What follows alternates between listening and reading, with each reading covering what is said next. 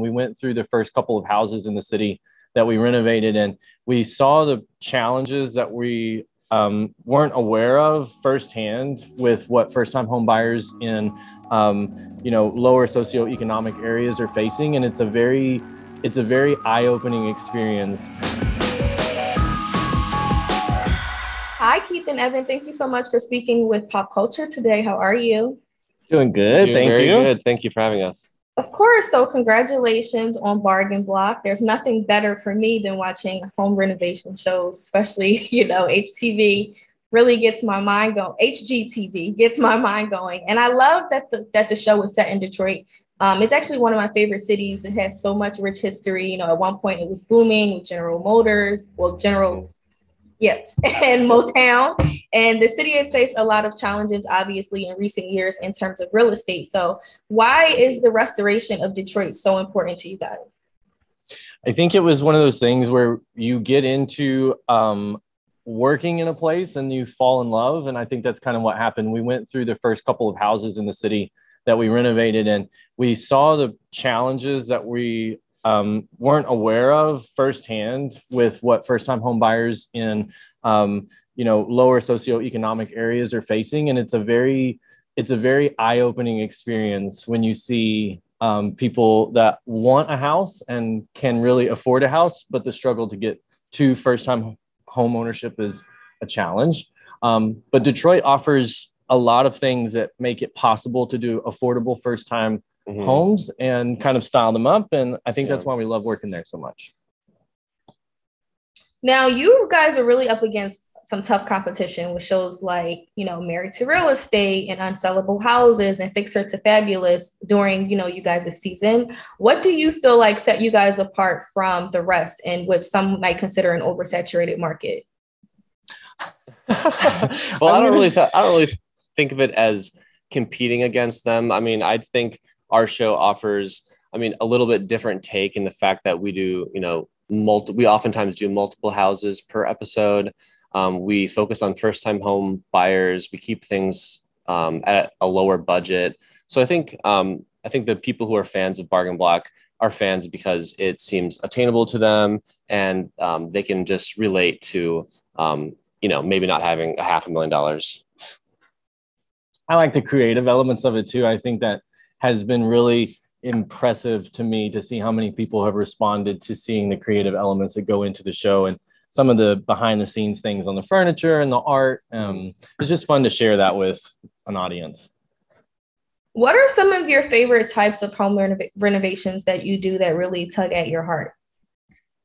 I love finding historic elements in a house. Even some of the smaller houses, they were built back in the 20s and 30s, and Detroit really was at its peak at that time. And so, even the smaller houses have beautiful detail. There's a lot of cove ceilings, the trim work is nice. Mm-hmm. If you come across a fireplace, oftentimes they'll have beautiful original tile. Mm-hmm. So, I get very emotionally connected to some of those elements of the houses that somebody at some point put a lot of love and a lot of time into, you know, whatever element it is and I think it's good that we try to preserve that. I think it's you know it's worth the effort to kind of mm-hmm. save it. Not all of the houses are Not able to save much because some of them are so dilapidated that you just kind of have to start from from from the ground up. So when we mm-hmm. can find a historical element that we really like mm-hmm. and we're able to save, we always do. Yeah. And you guys were also on Rock the Block, which was a competition series. So what was that experience like um, in comparison to working on you guys' show? What did you love and what did you feel like you could have kept where it was? They are completely opposite shows. I mean, you have our show, which is kind of just Keith and I and our small group of contractors just kind of like chugging away, chugging away for a long period of time on lots of houses. And then you have Rock the Block, which is hyper focused, six weeks, one house, big, big budget, lots of crew. Um, so it's a totally different experience. It was super fun for us. Um, it was like a nice break and just a change of pace to be able to have a really large budget and lots of help and um, and then of course to meet the HG TV host was was super fun. We're friends with all of them now. um, so yeah, it was just like totally different but very fun. One of the things that I'm really interested in in talking to you guys about is that there's so much conversation going on right now regarding the home buying market in today's economy. Obviously, inflation is crazy. Um, what are you guys' suggestions for potential home buyers and those who are embarking on major renovation projects? What tips are, do you have for keeping the cost down as well as keeping the stress down? Keeping the cost and stress down are very tricky but i will mm-hmm. say there's things that you can do to kind of mitigate some of those things. I will say from a contractor standpoint and and labor standpoint constant contact is going to keep you in much better shape. And on budget side it's really easy to find um, deep discounts at places like ReStore, which is Habitat for Humanity's um, thrift store. Every major metropolitan area has that. Tile is great there. Mm-hmm. There's a lot of things. If you hunt around a little bit, you can really mm-hmm. cut down prices, um, yeah. windows, doors, mm-hmm. all the things that kind of go into a house. They really yeah. there's a lot of ways you can save in places like that. Thrifting is obviously very near and dear to my heart. Uh-huh. So anytime we can layer that in, just as good. Yeah, I would say probably maybe um, a third of the tile that we use for yeah. bargain block was thrifted tile. Yeah. Um, and usually it's actually nicer tile than what we what would have bought because yeah. we wouldn't have had the budget to buy as nice of a tile. So you can kind of luck out and find some really nice stuff um, for for cheap. We just found this gorgeous pink marble mm-hmm. that was I mean, it, we paid like twenty eight. It was from Italy, so if yeah. we were to actually buy that, I'm sure we'd be spending definitely a lot, a lot more than uh, than just a hundred bucks. And how are you guys balancing, you know, work and love, it being as though you guys' work and relationship is so intertwined?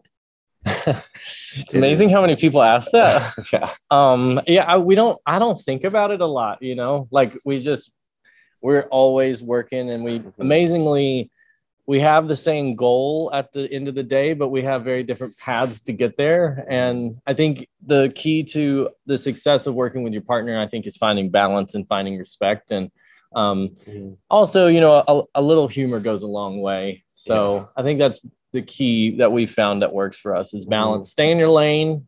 I don't try to step on his toes a lot. He does always try to step on my toes in design, but that's okay. I pretty much let him do things. I might make suggestions, but strong suggestions. But that's you know that's what we found works for us. And what other projects do you guys have working? Do you guys have that are currently in the works? So we're finishing up, still finishing up season two of Bargain Block. We're almost finished, but um, we're working on a lot of kind of I don't know, fun and exciting projects that go back a little bit to the creative. We're going to have a bit of a break for TV. So we're pushing into the art and we've got some really exciting tiny house builds that we're doing. So we just are really enjoying the creative elements at this point. Well, it was a pleasure speaking with you both. I can't wait to, you know, see how the rest of the season unfolds. I love you guys' work. Thank and you. congratulations on everything again.